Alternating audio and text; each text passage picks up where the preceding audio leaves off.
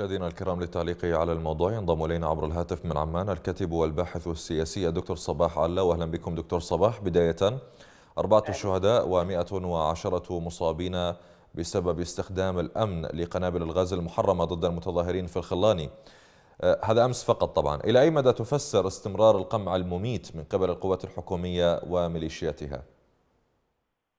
حقيقة الانتفاضة أولا أثبتت قدرتها على الاستمرار رغم حالة العنف المفرط منذ بدايتها في 1 10 2019 ولغاية اليوم نلاحظ ما زال القوى السياسية المتحكمة بأذرع مسلحة نعم. تستخدم كل أشكال العمل اللا إنساني ضد الانتفاضة الشبابية الرائعة الممثلة لمعاناة الشعب العراقي منذ 2003 ولغاية الآن.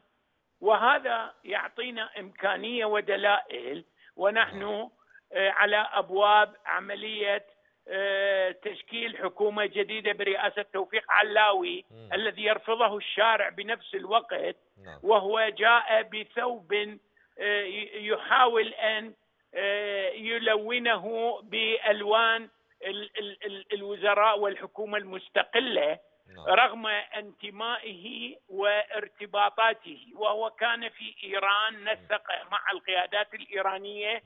ولذلك نلاحظ أن الكتل التي احتجت على تكليف السيد علاوي هم الأكراد والسنة وبعض أيضا القوى الشيعية الغير ممثلة بالسلطة رغم أنه طرح أسماء شبه مستقلة أو مستقلة ولكن الجهاز المسير لإرادة الحكومة القادمة هي إيران لا شك في ذلك ولذلك ادركت هذه القوى نعم. ومعارضتها لعملية إعطاء الثقة للسيد علاوي دكتور وهذا ما سيحصل غدا. دكتور صباح إذا بقينا قليلا في الساحة يوم أمس طبعا هي مستمرة لكن عملية قنص المتظاهرين.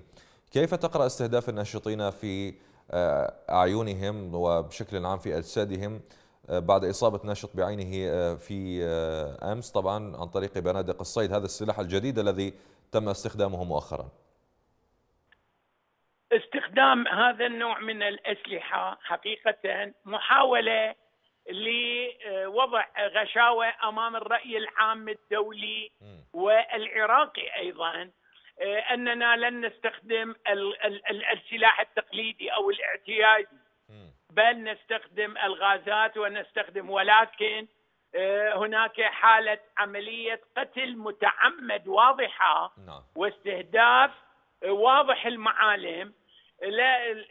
ليس ليس كما هو موجود في دساتير العالم وكذلك أيضا المنظمات الإنسانية والعالمية وكذلك الأمم المتحدة وإقراراتها بحق التظاهر نعم. لذلك نلاحظ هي محاولة لعدم إعطاء فرصة للمحكمة الدولية كما كما يحصل حاليا في جمع المعلومات لتقديم القتلة والذين قتلوا المتظاهرين منذ واحد عشر ولغاية الآن وتقديمهم إلى المحكمة الدولية وهذه هناك كثيرا من اللجان التي تعمل في الظرف الحالي عليها.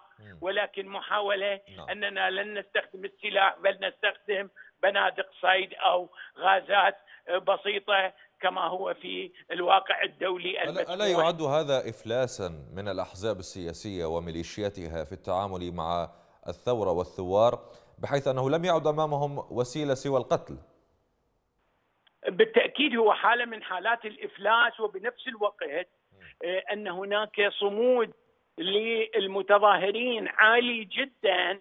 هو الذي هو الذي يدفع حقيقه بالقوى المتحكمة بالأجهزة الأمنية إلى استخدام القوة المفرطة بشكل أو بآخر.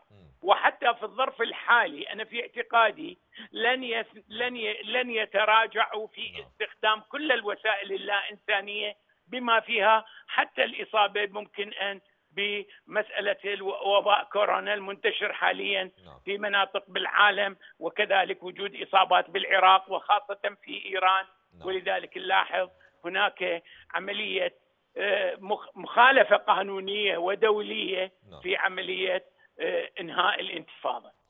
الدكتور صباح علاوة الكاتب والباحث السياسي كنت معنا عبر الهاتف من عمان. شكرا جزيلا لك.